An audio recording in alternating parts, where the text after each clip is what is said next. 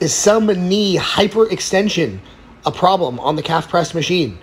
If it's causing you pain or discomfort, then it is likely a problem. If it is not causing you any pain or discomfort, it probably is not a problem.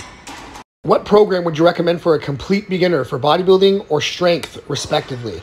Just pick any linear progression program that fits your goals. So if you're interested in hypertrophy, pick a bodybuilding linear progression. And if you're interested in strength, do any of the 5x5 or 3x5 programs.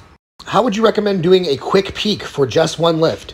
So peaking is, always works the same way. You're going to do high intensity to maintain as many adaptations as possible while bringing your fatigue as close to zero as possible. So basically, depending on how advanced you are, you can go in and do like one all out set, take a couple extra rest days, get your fatigue as close to zero as possible, and then max out. But that, the basic formula is the same maintain adaptations with high intensity, low volume, and then take time, time off to max. What would you add to StrongLifts 5x5? I wouldn't add anything to it, man. Like, don't try to take a strength training program and turn it into a bodybuilding linear progression. If you're interested in hypertrophy training and not strength training, go find a hypertrophy based linear progression that's actually aimed at people who want to get bigger and run that instead. And yes, I should probably have calf raises and curls and maybe laterals as well. So it's pretty obvious that I'm just going to keep getting asked novice linear progression stuff until I create a program myself. So in the meantime, I will give you guys a free program that you can do with AB rotations. Workout A is going to be a chest press, a pull down, a tricep extension, a calf raise, and a squat. Pick your favorite variation. You can do barbells or machines, doesn't really matter. Workout B, we're going to do a shoulder press, a row, a curl, a lateral raise, and a hinge, which is some type of deadlift. Please don't pick in mornings. Pick a deadlift variation. There you go. I'm not going to give you sets or rep ranges or any of that. You can at least figure that out on your own. After leg day, I have delayed onset muscle soreness in my quads that comes on after everything else, like glutes and hamstrings. Why? Um, honestly, I have no idea. I don't know the physiology well enough to give you the explanation as to why delayed onset muscle soreness can occur well after the session and longer time periods on some muscles than others. What I will tell you is that it, it probably really doesn't matter, honestly. As I've said over and over again, I actually almost never, ever get sore. I don't think getting sore is a good thing, personally. How much will doing arm isolations affect subsequent compounds if you do them first? So this can have almost no impact or it can have a ton of impact. Particularly in the case of triceps, if you do your triceps before you do shoulder pressing and chest pressing, it can potentially turn them into triceps limited exercises. And so that would go from primarily shoulder and chest volume to primarily tricep volume. So you got to be careful with this. Do you know why bodybuilders sometimes focus on plank work during prep?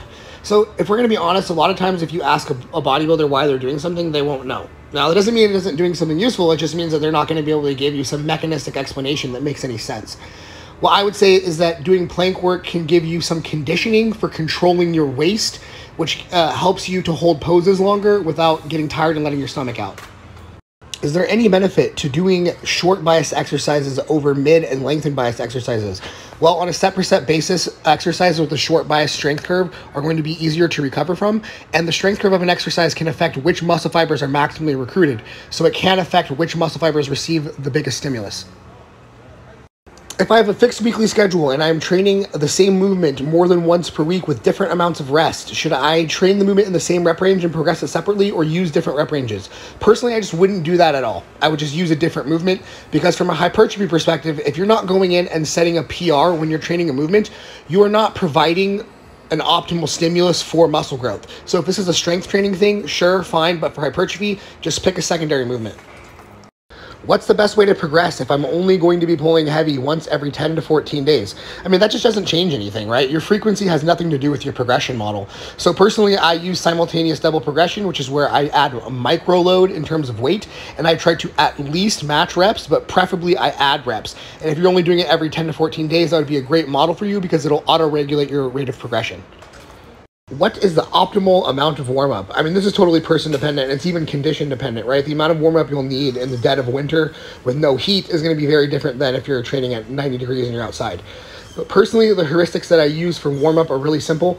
I want to feel physically and psychologically ready for my top set, and then I also want to perform well on the top set. I shouldn't be having a situation where my second set is way better than my top set. I don't do any mobility or any cardio. I start with the bar. Is it possible to have different volume needs for different divisions of a muscle?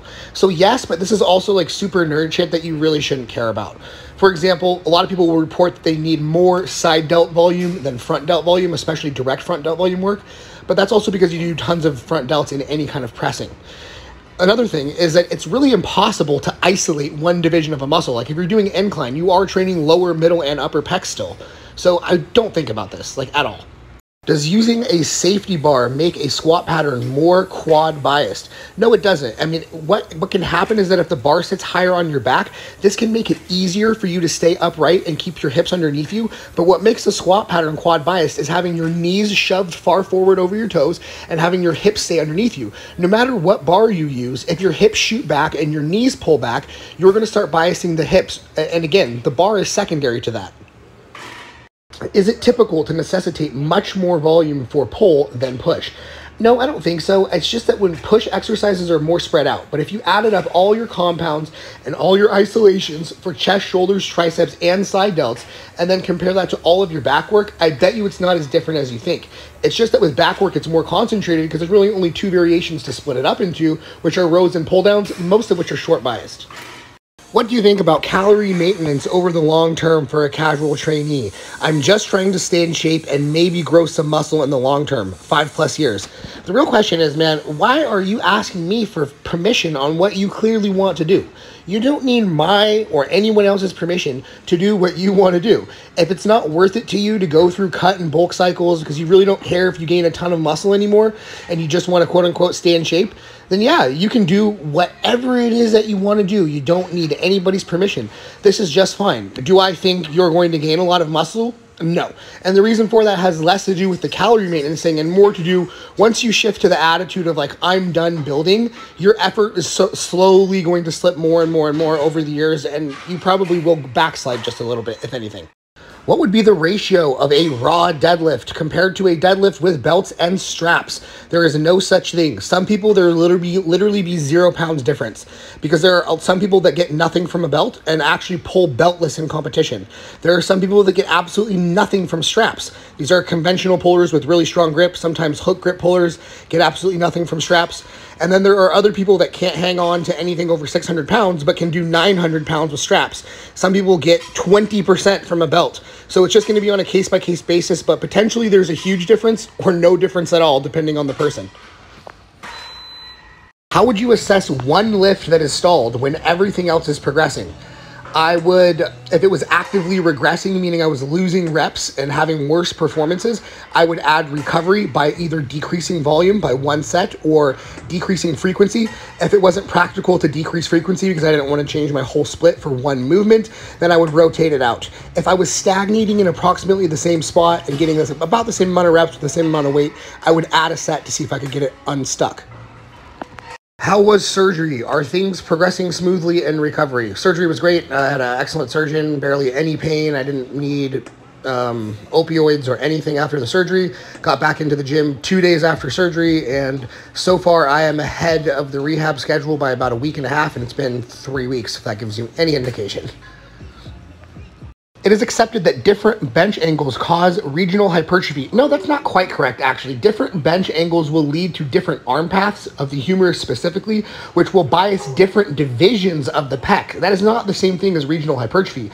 Regional hypertrophy refers to like proximal or distal to the, the joint that the muscle crosses. So you can, you know, hypertrophy your quad down by the knee or up by the hip. That's regional hypertrophy.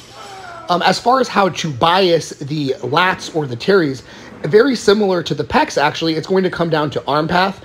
Keeping in mind that all pull downs train the lats and the teres, it seems to be that an elbow path that is very tucked close to the sides will bias the lats a little bit more, and elbow paths that are a little bit out wider will bring in a little bit more teres. But again, all train both. Objectively speaking, are hammer curls for biceps hypertrophy or forearm hypertrophy? Uh, the answer is kind of both. The hammer curls are going to bias one of the three major elbow flexors called the brachialis, and that actually runs along the upper arm and the forearm, and it sits beneath the bicep. So it will contribute to upper arm size as well as forearm size. The biceps brachii also flexes the elbow, but its primary function is as a supinator, and it's only in the upper arm, and that's what we're training with most curl variations are trying to. A reverse curl is going to train primarily the forearms, but All three of the major elbow flexors, the brachialis, the brachioradialis, and the biceps brachii, work in all curling variations. Grip just changes the bias.